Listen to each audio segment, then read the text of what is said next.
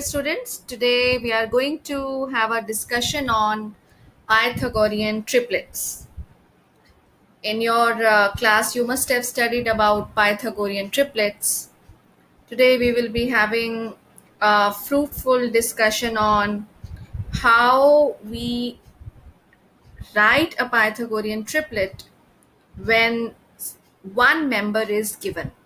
So let us start with the exploration. So here the question is, let me write down that.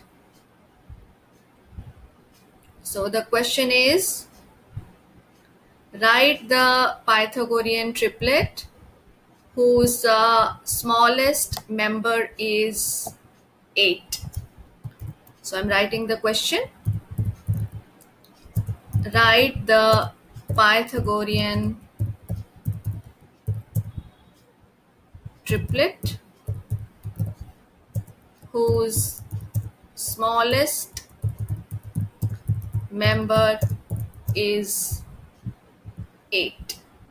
So here is this question. So you know that uh, we can get a Pythagorean triplet by using general form and you have studied about that general form in your class and that general form is that uh, we have to consider the triplet in the form 2m m square minus 1 m square plus 1 i'm repeating. What is this m? We are taking m as a natural number which is greater than 1 so i'm writing this. If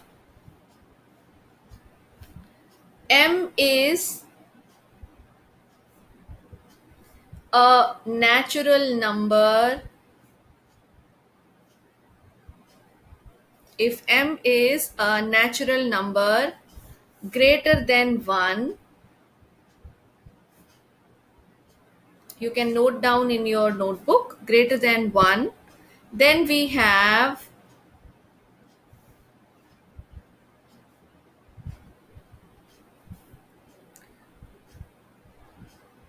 2m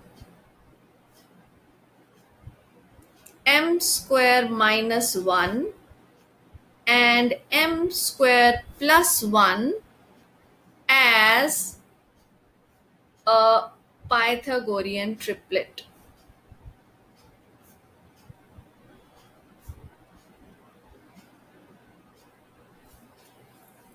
Just read this statement again and try to understand this. If m is a natural number greater than 1, then we have 2m m square minus 1 and m square plus 1 as a Pythagorean triplet. Do you know why this statement is true?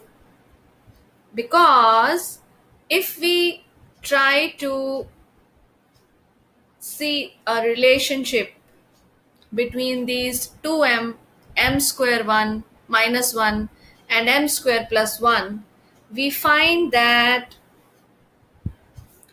2m whole square we find that I'm writing this 2m whole square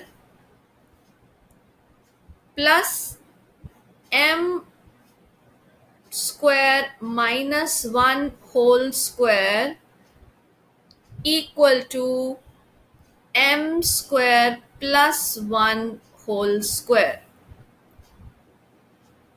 Because this relationship is true, so 2m m square minus 1 and m square plus 1 will give us a Pythagorean triplet. Right?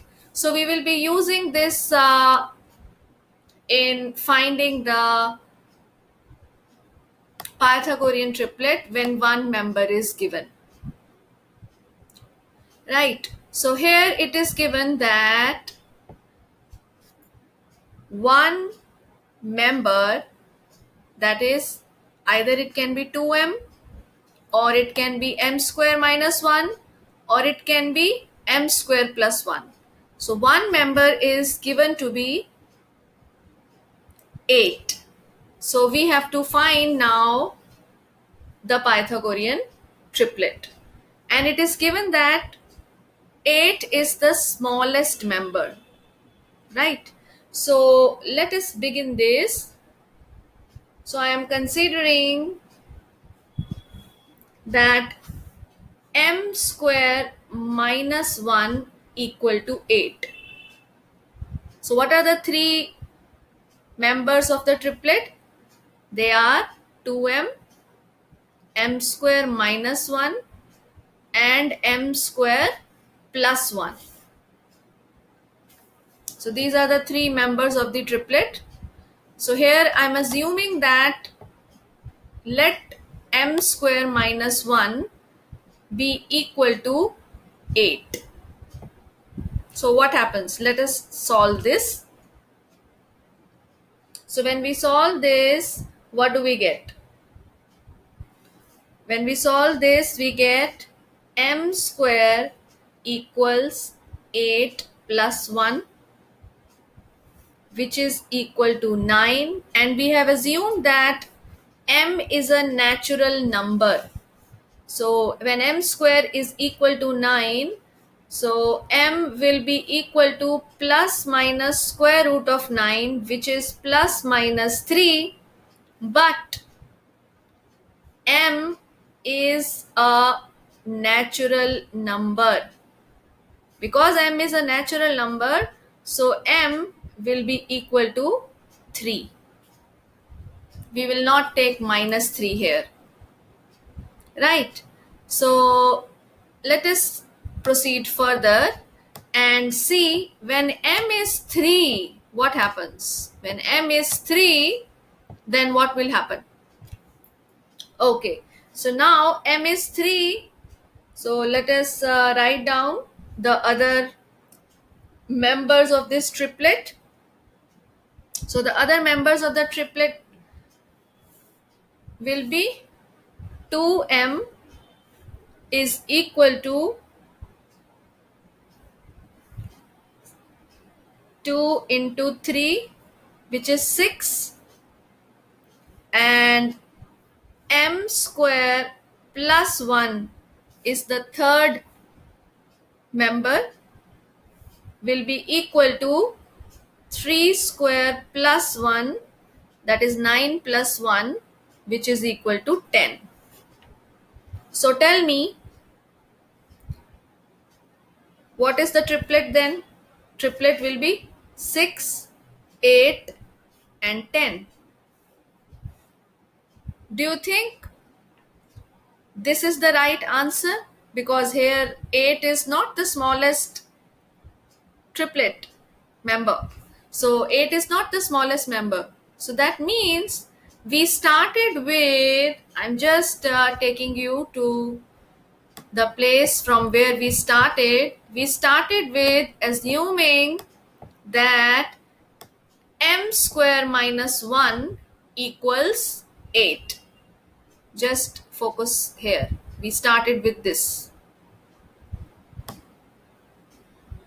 Okay m square minus 1 equals 8 when we started with this, we get m is equal to 6 and by doing so, we get a triplet having value 6, 8 and 10 and this is not the right answer because here 8 is not the smallest member. So we will continue further and uh, we will now consider 2m is equal to 8 that means we can we will take another member to be 8 so let us uh, proceed further so what we will do let 2m is equal to 8 so when 2m is equal to 8 so what will be m 8 by 2 that is 4 so when m is 4, can you tell me what will be m square minus 1? which is one member of the triplet. M square minus 1 will be 16 minus 1 which is equal to 15 and m square plus 1 will be equal to 16 plus 1 that is 17. So can you tell me the triplet over here? So triplet is 8, 15 and 17. This is how we write a triplet. 8, 15 and 17. And here you see that 8 is the smallest member. I hope you have understood the process. So let us take another example. And now the question is, let me write down the question first. The question is, find a Pythagorean triplet in which one member is 12. Find a Pythagorean triplet in which one member is 12. Earlier it was smallest member is 8 but here it is given one member is 12. So here let us try to do this. So we will be doing this question by first considering the Pythagorean triplet and you know that uh, in general how we take a Pythagorean triplet. So general form of the Pythagorean triplet is 2m m square minus 1 m square plus 1 where m is a natural number and m is greater than 1. So this is how we take a general Pythagorean triplet. Right. So using this, we are going to now solve this uh, particular question. So here it is given that one member is 12. So let us solve this. So we will assume that uh, let m square minus 1 is 12.